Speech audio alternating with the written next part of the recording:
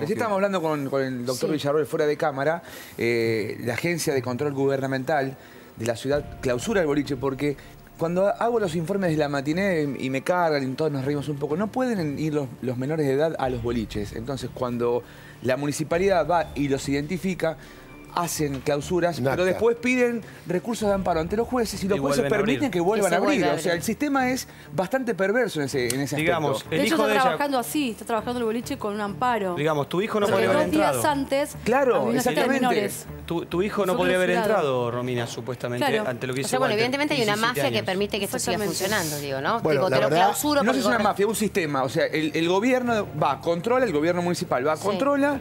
Los, pasa mu- en el Gran Buenos Aires, es, es una. No, eh, es permanente, es es para permanente. todos, para todos. Clausuran un Bueno, boliche. un sistema perverso. Exactamente, Sí, y después sí. los, jueces de falta habilitan el boliche, porque en todos los boliches de, de la Argentina se le vende eh, bebidas alcohólicas, a los a menores, cosas que no se pueden. Entonces, el Doctor sistema como que se reinventa. ¿cómo-